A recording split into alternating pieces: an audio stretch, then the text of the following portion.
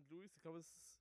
Genau. Miss, ist es Missouri? Missouri, ja, ja, Missouri. ist richtig. Mhm. Der Kumpel von mir war tatsächlich auch irgendwie bei St. Louis. ähm, Ja. äh, der, den treffe ich auch noch die Tage. Der wohnt, noch, Ah, der wohnt wieder hier äh, aus der Ecke, mit dem bin ich zur Schule gegangen. Der hat, äh, war auf dem Tennis-College. Ach, Beziehungsweise geil. war, war, hat er ein Tennisstipendium. Ja, ja. War auf dem College. Hat er quasi, es machen ja viele, so quasi so diese, diese Sportbasis haben. ja, genau. Die gut und irgendwie krass was sind, gehen die in die USA. ich glaube, du hast da auch die besseren Chancen einfach. Ja, ne? ultra. Und dann kannst du halt mit, kriegst du ein Stipendium, bewirbst dich drauf, kriegst Genau. ein Stipendium und kannst in den USA studieren, musst dich dazu dann aber verpflichten, dass du ein paar Leute dann in dem Sport auseinander Ja, ja, genau, so. genau. Und das ja. hat, er, hat er gemacht, hat auf entspannt studiert und ich hoffe, ich outcall dir nicht zu doll. Nico, liebe Grüße, falls du es hörst. Äh, ich weiß doch, damals äh, saß wir zu, zu, der saß immer neben mir in der Schule. Ja, ja. So, und er hat ein beschissenes Englisch gesprochen. Also wirklich Ja, schlimm. ja. Wirklich schlimm. So, und dann habe ich den irgendwann, das war zu der Zeit, wo ich in Stuttgart gelebt habe, habe ich den mit seiner amerikanischen Freundin, die jetzt auch Ja. hier wohnt, Ach, die, die sind zusammen wieder zurück nach Deutschland, äh, habe ich ihn am Hamburger Hauptbahnhof ge getroffen. Ja, So, und dann waren die auch auf dem Weg nach Lübeck. Und dann habe ich halt gesagt, ja, okay, ey, wenn die amerikanische Freundin dabei ist, die lernt gerade Deutsch, aber die ist doch nicht so, so fit, unterhalten wir uns auf Englisch. ja, ja. Und der Typ spricht auf einmal fließend Ja, Englisch. Und ich natürlich. dachte mir, was ist das denn? Weil der war drei natürlich. Jahre drüben. Ja, ja, deswegen. War das für dich auch äh, krasser Unterschied? Also, ich meine, wie war dein Englisch, bevor du da hingegangen bist? Also mein Englisch war so, dass sie mir halt bei diesem Programm gesagt haben, es wäre ganz gut, wenn du nochmal einen Englischkurs machst. Ehrlich? Ja, ja, doch. Ehrlich? Also das war halt, also es war halt okay, aber es, ey, ich sag's dir ganz ehrlich, das Englisch war so, dass die Amis sagen, ich denke, also ich finde, du sprichst ganz gut, aber die Deutschen sagen, boah, Digga, also das ist schon schlecht, so ist das. Aber es ist bei du? uns, ich glaube, bei, bei wenn du so einen, so einen krassen deutschen Akzent Ja. hast, neigst du immer zu diesem Arnold, Arnold Schwarzenegger Ja, ja. Weißt du? Aber ich glaube, die Deutschen sind da strenger als äh, die Amis wundern Das ist sich. sowieso das Ding. Das ne? ist mir mal aufgefallen, wenn du jetzt irgendwie, ich weiß das so zu meinen Twitch-Zeiten, so, wenn ich mal irgendwie was Englisches oder irgendwie. Englisch gesprochen habe, ich meine, gut, sowieso meine Bubble benutzt arsch viele Anglizismen, aber wenn wir wirklich uns ernsthaft hingesetzt haben und gesagt haben, ja, wir sprechen jetzt bei Englisch, ich habe einen ähm, mal damals zu Animal Crossing Zeiten einen amerikanischen Streamer aus New York kennengelernt. Den habe ich Mhm. Oh, dann auch geil. getroffen, als ich da war. Ja. Richtig geil. Und äh, da haben wir mal gesagt, ey, wir machen einen Streamer zusammen und ich muss dann auf Englisch streamen. Und da hast du halt diese ganzen Typen immer im Chat, die dazu sagen, äh, äh, dein Englisch, Ja. Omega Null und so. Wo ich mir halt sage, Bruder, du sprichst selber wahrscheinlich Ja, ja. nicht so geiles Englisch. So, aber Hauptsache, man kommt irgendwie durch und mit Händen und Füßen Ja. funktioniert das auch. Ich glaube, Genau. mein, mein Englisch ist von der Basis her auch solide. Ja, So, ich auch ich, ich bin damit auf jeden Fall sauber durchgekommen. Manchmal musst du dir musst du mal ein bisschen überlegen so, aber auch über die Zeit, die ich in den USA war, ich war ja einen Monat da. Ich, ich wehe, ich kriege irgendwelche Kommentare zu den USA-Vlogs, die kommen nicht mehr, lass mich in Ruhe damit. Und äh, mit der Zeit, wo du dich dann quasi dem anpasst, gut, in den Südstaaten war es ein bisschen heikel, weil die, also du hast die teilweise nicht verstanden. ja, echt krass. Boah, ich fand das in Texas teilweise. echt, ist das so ein krasser ich äh, fand das Akzent? wild. Ich fand das echt, Echt, wild. Ja, ja, ja. Aber dann, es war eigentlich geil. Was, ich weiß nicht, wie, wie bist du in den USA sonst rumgekommen? Warst du nur die ganze Zeit St. Louis oder seid auch mal ein bisschen Nee, wir waren auch, äh, wir waren äh, Texas nicht, aber Georgia da die Ecke, äh, Ja. Albany, äh, da waren wir, wir waren Florida, äh, Chicago, Boah, Chicago ist geil, äh, ne? also genau, wir sind schon ein bisschen rumgekommen, also so andere haben halt so Trips zusammen gemacht, sich getroffen, aber ich habe echt nur mit meiner Gastfamilie gechillt, weil so, guck mal, die waren, guck mal, ich war 24, die waren, äh, die waren nur knapp zehn Jahre älter, so. Ach so, Ja, okay. die waren nicht so viel älter, also das ging eigentlich voll so, ne? Also wir haben eigentlich einen richtig guten Draht zueinander gehabt. Mhm. Ähm, die ganze Family war einfach äh, geil und wir haben viel gemacht. Also wir haben echt viel, weil die Amis sind ja so, da geht, fährst du auch abends einfach mal so zum Restaurant essen. So. Also Ja. weißt du, das machst du in Deutschland irgendwie selten. Ähm, da fährst du schon mal was essen oder auch einfach mal Samstag ähm, gehst du einfach mal zum Baseballspiel und dann nimmst du mal was und gammelst da irgendwie für ein paar Stündchen beim Sport. So. Das Ja, ist, auch, ist auch geil. Das ist ganz geil, ja. in Toronto gesehen, da war, ähm, da sind die, wie hießen die jetzt? Blue Jays. Toronto Blue Jays. Mhm. Äh, das, ich glaube, die spielen auch in, der, in dieser MBL, MLB. Ich weiß nicht, wie die Liga heißt. Äh, oh, ich hab's letztes Mal, ähm, Äh, Baseball League, MBL, glaube ich. MBL. Major Baseball League. Ja, ja, genau, Ja, genau, genau. Da, und die haben so, wir hatten so ein Airbnb direkt an diesem CN Tower, an diesem Hauptplatz. Mhm. Mhm. Und da konntest du, wir hatten relativ hoch, also hohes Stockwerk. Und dann war so ein, an einem Wochenende so ein Spiel von den Blue Jays. Ja. Und die haben das Stadion dann so offen, Hochsommer, und du konntest dann so von oben so reingucken. Boah, ist geil. Das sah richtig, Ja. richtig abgefahren aus. Ich weiß nicht, was, was spielt in, in St. Louis? Äh, Cardinals. Aber ich finde Baseball scheiße langweilig. Also, ich habe ich hab nie Baseball angeguckt, ehrlich gesagt. Ich, ich denke, ist, ist doch so wie Brennballmäßig, Ja, oder? genau, genau.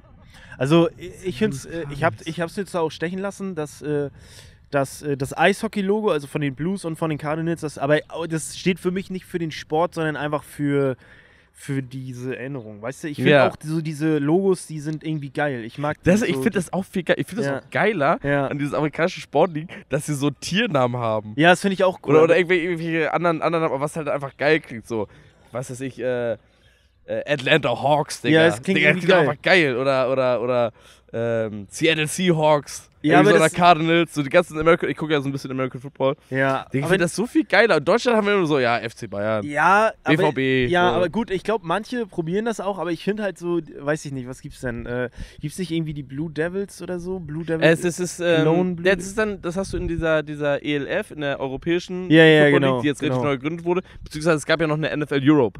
Und okay, da gab es okay. die Hamburg Sea Devils. Ah, okay. Es ja. gibt Hamburg Sea Devils. Ich glaube, die haben noch, ähm, boah, Rhein Fire gibt's noch. Es gibt noch, äh, aus, aus, aus Warschau, Warschau Panthers gibt's noch. aber es hört sich auch geil an. Ist finde voll, ich, ich finde Ja. das mega. Ich finde das ultra geil. Es gibt Leipzig Kings und in Stuttgart, warte mal, das war zu der Stuttgart-Zeit, weil da waren voll viele, ich habe in so einem Tattoo-Studio äh, da äh, viel mit denen gearbeitet. Da war so, da, da waren hin und wieder auch irgendwie so Spieler oder, oder irgendwelche Mitarbeiter von, oh, die hießen, ich glaube, Hamburg, äh, nee, Hamburg, Stuttgart, Stu Stuttgart Search oder irgendwie so ein Scheiß. Ah, okay. Auch, äh, also war irgendwie, war irgendwie voll abgefahren, aber da wurde gerade erst gegründet. Ja, ja. Nee, aber das finde ich viel geiler. Ich finde Ja, auf find das viel geiler, wenn das ich so auch. richtig, richtig drin wäre in der Kultur. Ja, es ist so ein bisschen, es wird aber auch, das funktioniert aber auch wirklich nur da. Also du kannst das nicht so her äh, ummünzen, einfach nach, Das ist auch nach ein ganz, ja, ja, eben. Und das ist anderer auch ein Vibe ganz irgendwie. anderer Kult. Ja, Was genau, ich auch geil genau. finde, ist, dass sie das, dieses System mit diesen Universitäten haben, Ja, so dass du. nee, du, das hält- das hält auch- du das- gehst ja hin einfach. Genau, immer, ne? genau. Also, Und das hält ja auch die Liga übel fair, mhm. weil die neuen Spieler, die reinkommen, kommen von den Colleges Ja, und werden je nachdem, hast du einen wichtigen Spieler abgegeben, äh, hast du, wie viele Punkte hast du die Saison gemacht und der, der am quasi schlechtesten dasteht, kriegt Ja. dann als Erster den, den neuen Spieler oder Zugriff auf die neuen Spieler oder Genau. die so unter Vertrag nehmen. Und das hält die Liga so fair und es gibt immer irgendwie einen neuen Gewinner, es sei denn, es haben sich irgendwelche Kader so etabliert, wie jetzt beispielsweise, gibt es ja, gibt's ja einzeln, so Kansas City Chiefs, ja. Patriots zu ihrer, zu ihrer Prime-Zeit. So, aber das hast du halt in Deutschland, hast du es dann halt so, dass seit zehn Jahren FC Bayern Meister wird. Ne? Und dann Ja, macht es auch irgendwie keinen Bock. Ja, Das ist schon geil. Es ist, ja, aber ich glaube einfach Sport, also äh, Fußball ist, glaube ich, an sich, ist nicht, glaube ich, Fußball sogar der größte Sport irgendwie? Ja, der größter Welt? Sport der Welt, ja. Ja, genau. Ich habe letztes Mal, da gibt es so ein, äh, gibt's so ein, ich sehe die immer auf TikTok, The Makeshift Project. Das sind so zwei Dudes und die, äh, die machen immer so Rankings und die haben auch so ein Ranking mit den Sport, äh, Sportarten gemacht und da war Fußball und danach kam, glaube ich, hier Cricket. Ja, in Indien. Das ist äh, Platz zwei der Ist Welt. riesig, Ne? Das ist, ist krank riesig. irgendwie. Auch hier, guck mal, Rugby, Alter. Mhm. Rugby ist ja Australien, Neuseeland. Ja, stimmt. Das war immer irgend, irgendwelche, ich weiß gar nicht mehr, welche das waren. Müsste ich nochmal nachschauen oder im Zweifel muss mal einer Bezug drauf nehmen, der da irgendwie im, im Ding drin ist. Es gab mal irgendwie Olympische Spiele und diese ganzen so äh, Ozeanien, Polynesien und die ganzen, Mhm. diese ganzen kleinen Inseln, die sind alle voll krass Ja, ist Rugby. krass. So, da hat mal Fidschi-Insel Gold bei Olympia gewonnen. Das so hat man aber nicht so auf dem, auf dem Schirm, finde ich. Ich ne? finde das Also ultra abgefahren, weil das ist so, das ist eigentlich so, sind eigentlich so Länder, die du nie Ja, irgendwo, genau. irgend- die nie irgendwie eine Rolle spielen. Ja. Die sind da irgendwo auf ihrem Pazifik unterwegs und machen ihr Ding. So, aber dann rasten die in Rugby voll aus und nehmen alles auseinander. Auch Neuseeland. Rugby übel krass. Ja. Ja, So. Neuseeland, ja, ja, deswegen, also das läppert sich dann irgendwie und das hat man gar nicht so, hat man gar nicht so auf dem Schirm. Aber ich glaube, insgesamt in Amerika ist einfach so diese, äh, diese Ansammlung an verschiedenen Sportarten ist einfach natürlich mit am größten. Auch am, ich finde die Sportkultur ist in Amerika cooler, muss ich Ist, ehrlich ist sagen. auch so, ist Ne? auch so. Ist cooler irgendwie. Ist erstmal völlig abgefahren, sehr kommerzialisiert, Ja, aber ist ja, auch irgendwie voll. geiler. Aber ich finde es auch geil. Ich mag auch dieses, äh, so am, selbst am Community College, diese Shirts und so. Ich mag das. Das so, ist geil, ne? Ich fühle das irgendwie das ist, voll. Das hat so ein, ja, so ein, so ein Community-Feeling. Ja. Vielleicht auch so ein bisschen, ich weiß nicht, Zugehörigkeit, aber ich finde das gar nicht, ich finde das cool, das ist so alles freiwillig, Ja. aber dass man irgendwie so eine, so, dass du an so einer Schule so eine Gemeinsamkeit hast, für die man, die alle irgendwie feiern Die und, alle und cool supporten. finden. Ja, man ich, fühlt genau. sich dann so zugehörig zu der Sache.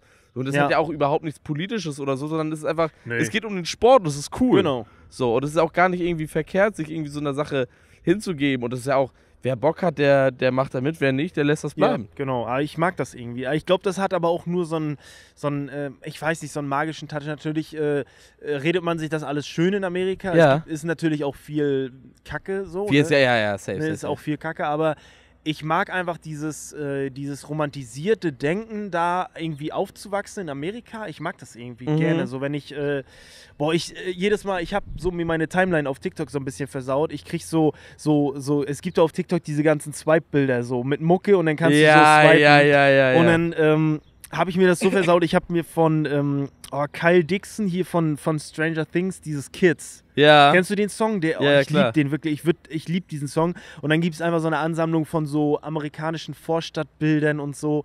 Das sieht so geil aus. Ich würde gerne Mega. 16 sein und da nochmal irgendwie aufwachsen. Das sieht so geil aus. Wäre das für dich eine Option, in die USA zu ziehen? Oder ich glaube nicht. Also das wäre so das dumm. Das wäre dumm, das zu machen. Also äh, das wäre einfach, ich wüsste nicht warum. Wenn ich da hinziehen würde und ich würde da irgendwie ne, mit meiner Freundin hinziehen und dann eine Familie gründen, das ist irgendwie dumm. Das ist so unsicher alles. Ja. ich nicht, ist einfach irgendwie nicht so verantwortungsvoll. Irgendwie, keine Nee, Ahnung. Fühle ich nicht so. Sehe seh ich ähnlich, sehe ich ähnlich, weil man hat früher so als Kind, denkt man sich so, Ja, ja, Und ich, voll. aber ich glaube, das haben, das, äh, da habe ich nämlich mit äh, so Studenten aus den, aus den USA auch drum gequatscht, so wie wir hier in, in Europa oder in, We- vielleicht auch Westeuropa so USA so als das gelobte Land Ja, ja. hochholen, das ist alles geil, das ist alles cool und kein Schwein von uns war jemals da. ja, ja, genau. So, äh, so machen die das, glaube ich, genauso in den USA über Europa. Ja, die genau, sagen, genau. Oh, Alter, wir Ja. müssen nach Europa, weil in Europa geht voll die Scheiße ja, ab. genau, genau. Und ich glaube, gut, mittlerweile hat es, ich habe das Gefühl, so in den letzten Jahren ist es sehr umgeschwungen, dass man auch sagt, so, boah, Japan, Japan Hm, ist so voll das stimmt, Ding. Stimmt. So, wir stimmt. müssen alle unbedingt nach Japan. Auch größter Quatsch, den ich immer höre, ist so, oder, also ich weiß nicht, ob Quatsch ist, aber ich will da jetzt auch niemandem was reinreden, aber dieses, äh, oh, ich wäre so gerne in Japan aufgewachsen. Man halt Ja. so, du, du, und wenn du dich so ein bisschen beliest über Japan, wie es so gesellschaftlich ist, ist bestimmt sehr spannend, auch kulturell sehr Ja, interessant. ja. Aber ich, das ist doch voll die Druckgesellschaft. Ich glaube, das ist richtig abfuckt teilweise. Ja, es Also schon. ich würde da nicht, ich würde da nicht aufwachsen. Ich glaube, einem geht schon, also man beschwert sich so, aber ich glaube, es ist schon, äh, schon irgendwie ganz geil. Also es sagt man immer so dumm, äh, aber ist irgendwie ga- doch ganz geil. Aber ich weiß nicht, ich habe da aber, natürlich denkt man so über Auswandern nach, aber ob ich da irgendwo den Mut zu habe, es ist ja auch immer so ein bisschen, ich will ja nicht alleine umziehen, ich will ja meinen Bruder und meine Freundin mitnehmen. Fühl ich weißt du? komplett. Also so, es geht ja nicht so. Ne? Ja. Äh, Alle anderen könnte ich irgendwie besuchen, ähm, aber mein Bruder, seine Freundin, meine Freundin, die äh, irgendwie müssten wir alle zusammen dann irgendwo hinziehen, dass irgendwie alle glücklich sind. Ne? Und das Ja. ist so, ja, das ist nicht immer so einfach. einfach Wenn ich so, zum ne? Beispiel an damals zurückdenke, wo dieses losging mit, wo Simon ausgewandert ist.